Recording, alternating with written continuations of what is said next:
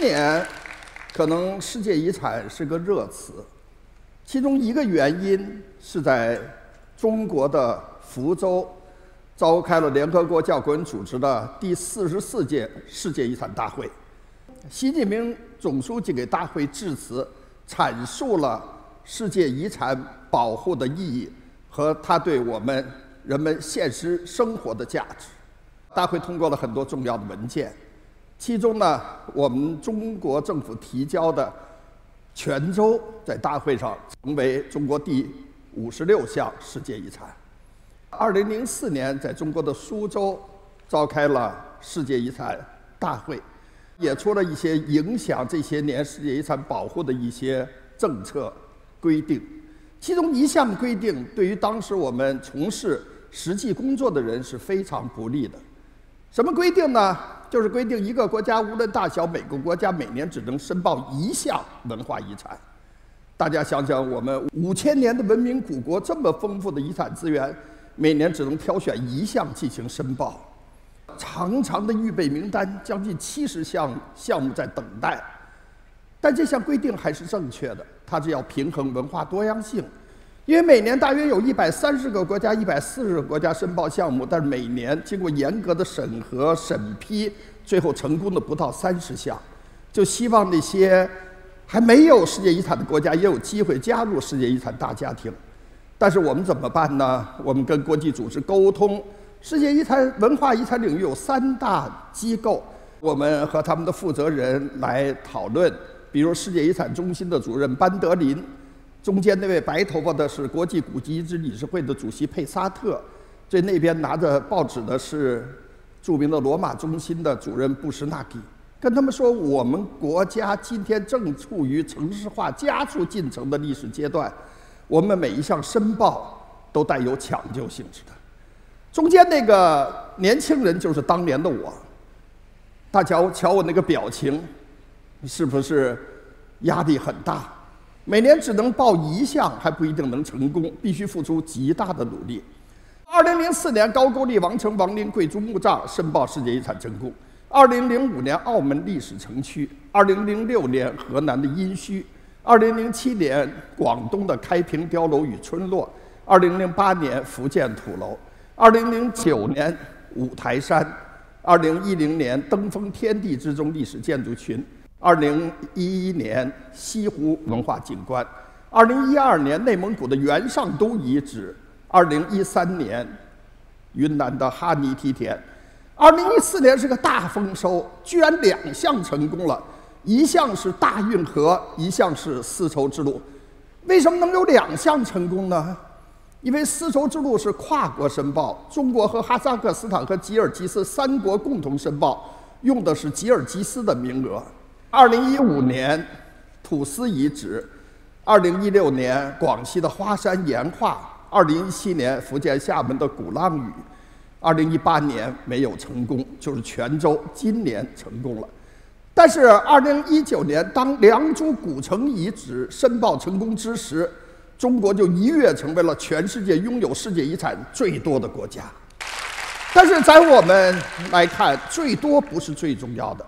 关键在这个过程中，抢救保护了大量的文化遗产资源，比如良渚古城遗址，十几年前它的状况是这样的，就是浙江普通农村的景观，在遗址上有这样的废品回收站呐，有这样的乡镇企业，最重要的莫角山宫殿建筑群上，当年居然耸立了一个企业的水塔，有这大型的印刷厂，不断增加的这些农民住宅。那么，周围开山取石，把环境也破坏掉，这就是十三年前的状况。但是，进入申报世界遗产，进行了环境的整治，进行了遗址的保护，那么从这样的面貌改变成这样的，它毫无争议的以五千三百年的历史，成为了世界遗产，获得了成功。在世界遗产大会上，十三分钟的。我们专家的陈述，十个国家支持表态的发言，然后大会主席一锤定音，良渚遗址成为实证中华五千年文明的圣地。我们在申报世界遗产的时候喊出了一个口号，就是要叫良渚遗址像公园般的美丽。同时呢，重要出土文物的地点进行了保护性的展示，在遗址的外侧建了一个漂亮的博物馆，把八十多年出土的以玉器为主的珍贵文物进行了集中的展示。这些工作做好了以后，一个考古遗址公园正式开园了。年轻人在这里每天都有活动，同时呢，人们在这里接触大自然。其实每处遗产。它申报过程中都伴随着抢救性的保护，比如五台山。那么提出申遗的时候，我们到现场一看，二十多处地点全需要整治。特别最核心的台怀镇的山下那段不可持续的旅游，造成上千个小门脸儿、小饭馆、小茶馆、小酒馆、卡拉 OK 屋，还一种叫洗脚屋。你说山上的僧人怎么念经啊？要成为世界遗产，必须环境要整治。所以。把所有的这些杂乱无章的旅游设施退后十里地，也建游客中心，然后一年以后，深山长谷沙的意境回来了，这样五台山成为了世界遗产。杭州西湖进入新的世纪，提出申报世界遗产。我们知道这是一个更艰巨的任务，因为它在一个蓬勃发展的大城市的中心核心地段，占据很大的空间。而西湖的文化景观的特色叫三面云山一面城，也就是三面云山里面不能出现任何一栋侵入到景观里的新的建筑，可能吗？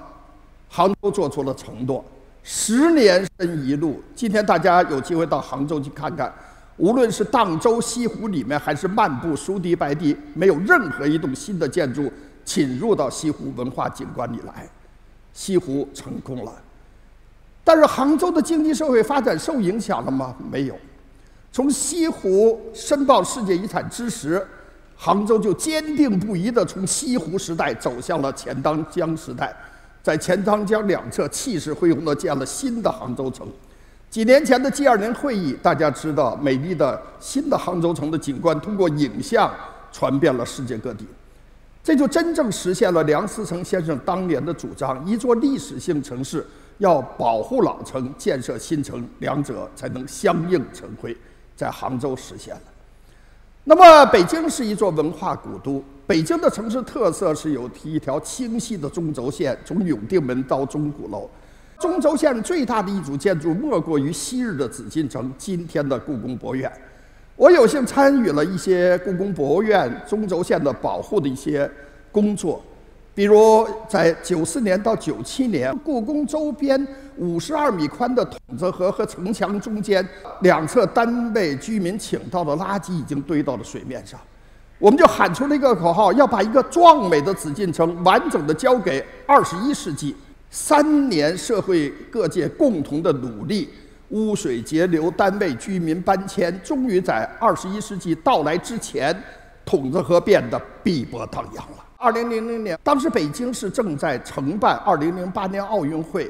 我们不希望大体量的建筑物、大规模的建筑群侵入到中轴线和故宫景观周围，我们就在中轴线两侧画了厚厚的建设控制地带，绿色的地方就是不能建楼房的地方，就是保护北京传统四合院平房胡同的地方。正是因为有了这道屏障。北京市中轴线今天申报世界遗产才成为可能。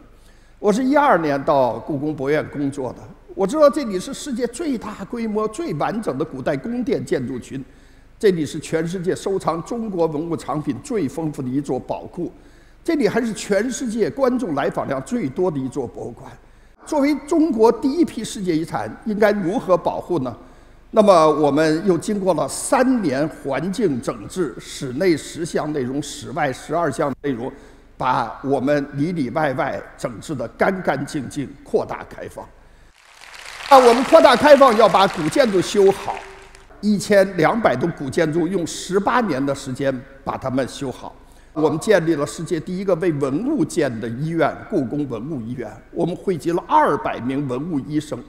这所医院一建立，国际文物修复学会就把全球唯一的培训机构就设在了我们中国，设在了故宫文物医院。这是一幅画，曾经挂在乾隆花园最高的建筑福旺阁的墙上五米多高的一个贴落，但是七十年前战争期间它堆落下来了。当时没有条件修，我们的老员工把它包起来。今天要修，打开一看，已经碎了上千片，碎片化了，没办法研究了。但是今天我们进入文物医院以后，用我们的计算机系统和辅助设备支持下，科学的拼对，科学的修复，一年以后它起死回生了，才知道它是清朝一个非常著名的学者董诰的一幅作品。这件青铜器出土也碎了二百多片，没办法研究了。但是我们用无损探伤的设备支持下，在最大那片铜片的铜锈下面，发现了二十多字的铭文，知道它原来是两千五百年前带先秦铭文的一个鼎，也非常珍贵。今天把它修好了。就是这样的一批批文物，从我们的各个库房里提取出来，进入文物院，经过修复以后，健康的、有尊严的走进了我们各个展厅。通过环境整治、古建修缮、文物修复，我们终于可以开放更多的地方了，更多的区域。二零一四年，故宫博物院的开放面积第一次突破了百分之五十，到了百分之五十二。二零一五年到了百分之六十五，二零一六年到了百分之七十六。三年大整治带来了三年大开放，一九年到了百分之八十。很多过去竖着非开放区、观众止步牌子的地方，今天变成了展区、展馆、展场。我们修好了故宫四大花园，全部对公众开放。两个明代的花园，两个清代的花园，最后开放的是明代的慈宁宫花园，一百零六棵大树，非常幽静。那么，我们今天开放了城墙，人们登上城墙可以看紫禁城的景观，可以看外面的风光。我们开放了唱音歌大戏楼，这是中国最古老的留下的宫廷戏楼，但是一百多年都没有演戏了。但是我们今天知道，这些木结构的古建筑，你把它修好了、锁起来，它遭朽的更快。越正常的使用，越经常的维修，它会越健康。于是，畅音阁大戏楼修好，我们作为戏曲馆对公众开放了。我们把过去的。库房地面的这些存放我们建材的库房，今天变成了家具馆，六千两百件明清家具集中在这里面进行展示，一间间客厅，一间间书房，就是这样一个区域一个区域开放，故宫的开放的区域越来越大。这个地方叫太和殿，过去人们参观太和殿以后，只能往北面走，高大的宫殿，宽阔的广场，一根树都没有。也有观众问过，为什么故宫没有树？过去我只能告诉他，你再往前面走，走到最北边有一个地方叫御花园，有树林。其实太和殿两侧各有一个门，西面叫右翼门，东面叫左翼门，只是从来没有开放。今天我们整治两边的环境，修缮了两边的古迹，这样我们开放了右翼门。人们走出右翼门，迎面就十八棵三百年树龄的大槐树，向北就是新开放的西部区。我们打开了左翼门，人们走出左翼门，迎面就是过去骑马射箭的建亭广场。这时候人们才恍然大悟，原来太和殿两侧一步之遥这么好的生态景观。第二次来故宫，第三次来故宫的观众就不一定往前面走，西面看展览，东面看景区，人们就散开了。那么，我们把大量的古建筑今天用于了社会教育，这些新的大教室能使更多的观众、更多的同学们来到这里学习。当然，故宫还有一个得天独厚的地方，就是我们几十个庭院都非常的安全，春天、夏天、秋天都被同学们把它铺满了。我想，我们的博物馆就应该是人们学习的一个大课堂，是人们生活中的一片文化的绿洲。我们的教育活动也走向全国各地，走向世界各地。比如，我们到马耳他去，到新加坡去。到泰国去，到澳大利亚去，到西班牙去，这些外国的小朋友也很喜欢来自中国的、来自故宫的文化。我们进行国际教育，两大国际组织，一个国际博物馆协会，一个国际文物修复学会，都把全球唯一的培训机构就设在了故宫博物院。国际博物馆协会在过去的六年里，已经培养了七十多个国家的三百多名博物馆人员。我们的朋友越来越多。那么，源源不断的把各国优秀的展览吸引到故宫博物院的展厅，使我们国人不出国门能看到各国优秀的展览。我们的展览也不断的走向世界各地，来传播我们中华传统文化。今天越来越多的活动在故宫展开，这是非洲孩子们和中国的小朋友在故宫度过了一个美好的夏令营。这是二十个文明古国的专家学者、政府文化官员在故宫召开每年一度的太和论坛。和文化是我们中华传统文化的精髓之一，它就是号召人与自然要和谐相处，人与人之间要和谐相待，人的内心世界要和谐相安，我们的世界才是一个和平友好、发展不断进步的世界。二十个文明古国在故宫博物院共同签署了《太和宣言》。今天我们一次一次做好每次外交的接待，这些外国的。领导人来到故宫，我们会用故宫所呈现出的传统文化给他们进行解读。红墙、黄瓦、蓝天，这是三原色呀。用这三种颜色可以谱画出世界任何的色彩。我们的世界必须是绚丽多彩的，不能是单一色彩的。每个民族都有他们值得骄傲的历史，每个民族也都应该拥有他们向往的未来。今天看的每天数以万计的中外观众走进故宫博物院，我相信他们一定会感受到世界最大规模、最完整的古代宫殿建筑群，今天被保护修缮的如此之壮美、如此有尊严、如此之健康。他们会感动于我们中国共产党、中国政府、中国人民对世界文化遗产保护所做出的积极的努力和贡献。由于我们。不断的扩大开放，影响力增加，观众持续的增长。二零一九年，故宫的观众第一次突破了一千九百万，一千九百三十三万，史上最高，世界第一。但是最令我兴奋的是，一千九百三十三万观众里面，三十五岁以下的年轻人第一次突破了百分之五十，过去这个比例不到百分之三十。越来越多的年轻朋友喜欢古老的紫禁城，喜欢正青春的故宫博物院。去年十二月八日，紫禁城迎来了它六百岁生日，这一天我们无比激动。我们知道，我们这一代大家共同努力下，我们已经把一个壮美的紫禁城完整的交给了下一个六百年。谢谢大家。